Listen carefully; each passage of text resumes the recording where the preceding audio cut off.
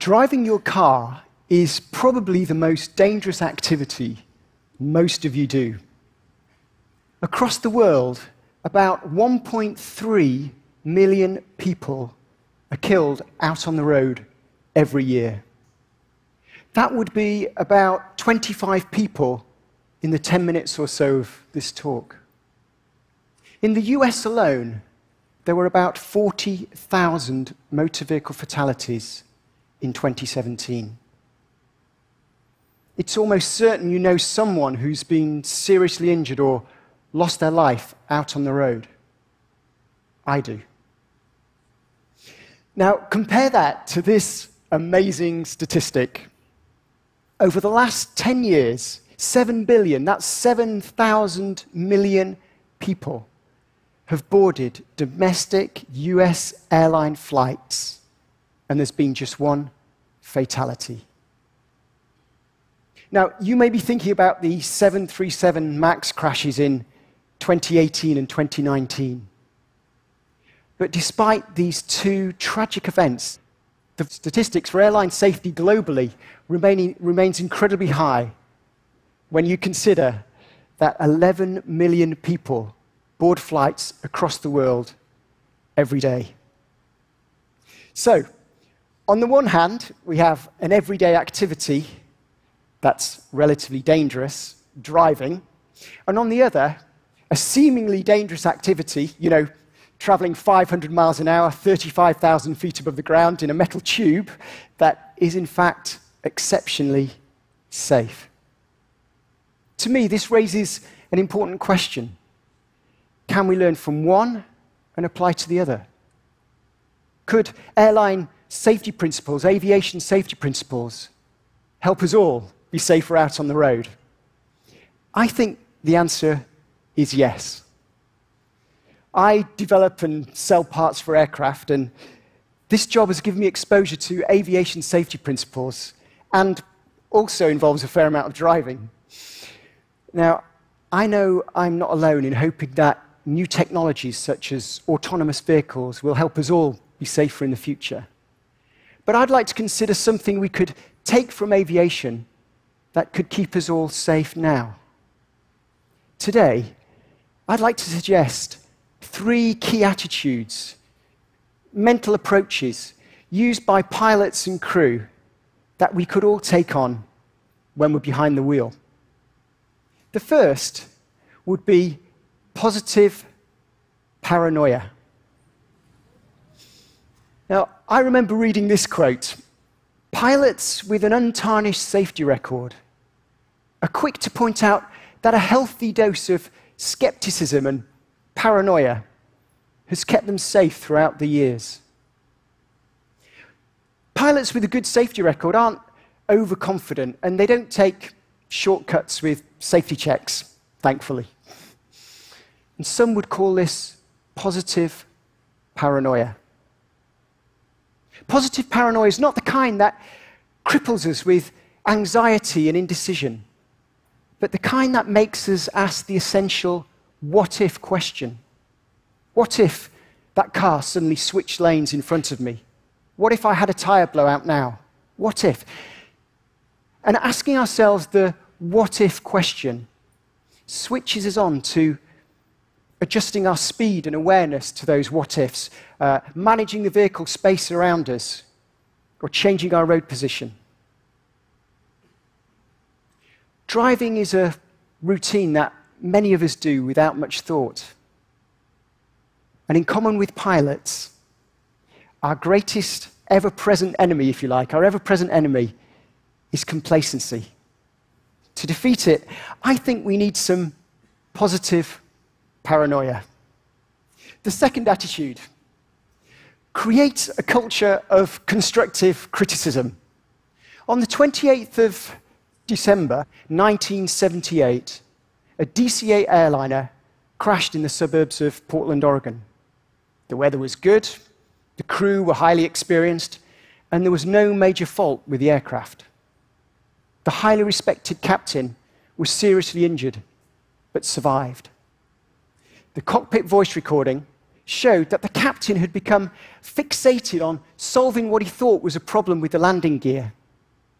And he kept the aircraft in holding pattern until it eventually ran out of fuel and crashed. The investigation afterwards showed that, in fact, the landing gear had deployed correctly. Significantly, the voice recording shed light on something else.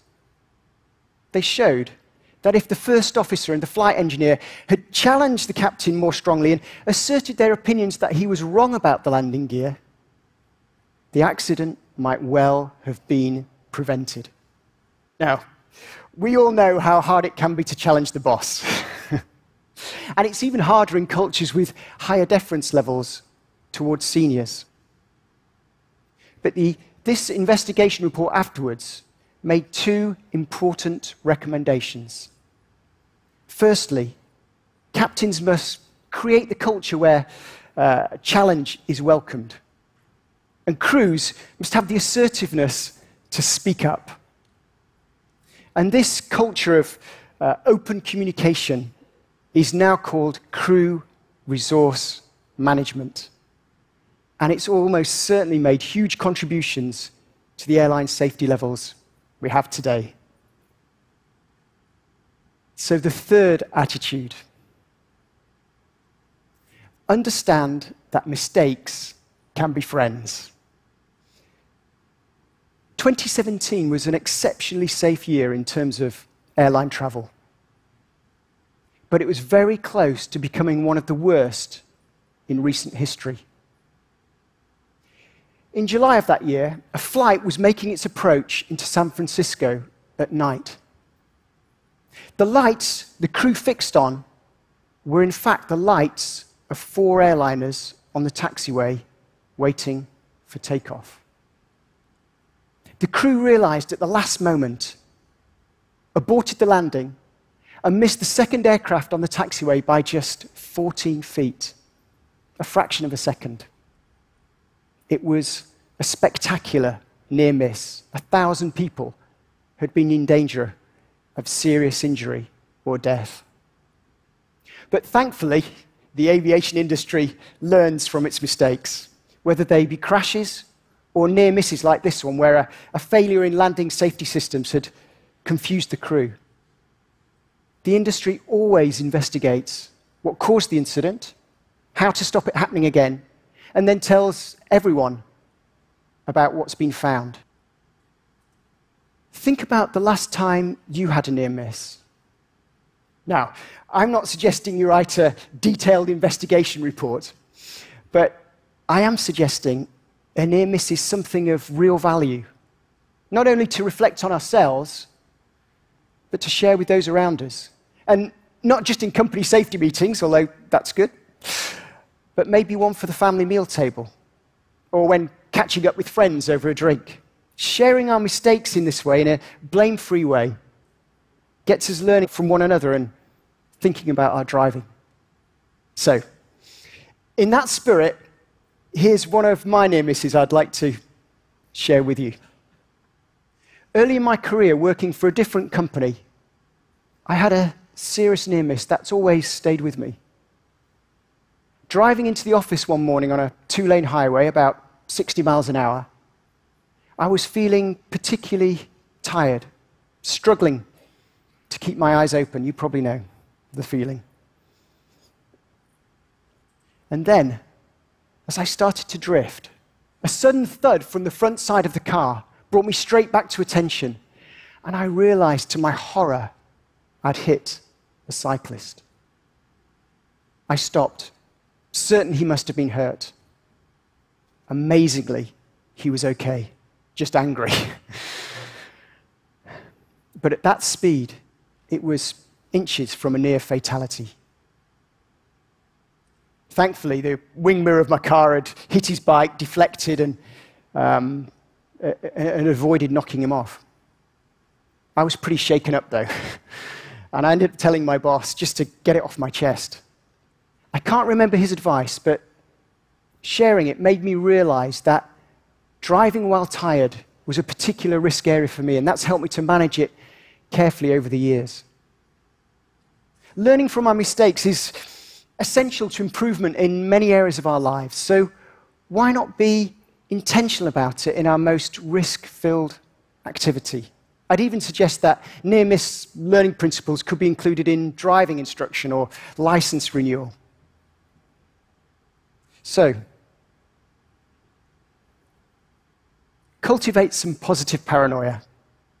Encourage those around you to challenge you and share your mistakes.